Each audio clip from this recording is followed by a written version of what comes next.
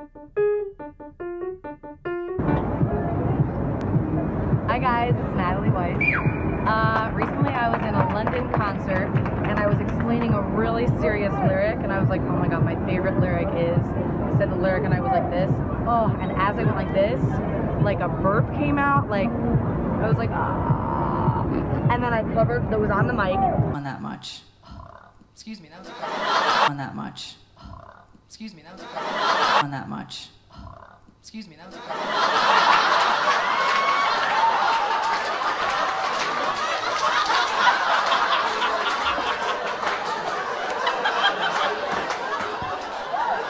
I quit. I'm just gonna pretend that didn't happen. At least it wasn't like it was. Was like, that didn't happen. And it was one of those like not burps. It was like like a gargle. Anyway, I put it on the internet and everyone liked it. So there you go.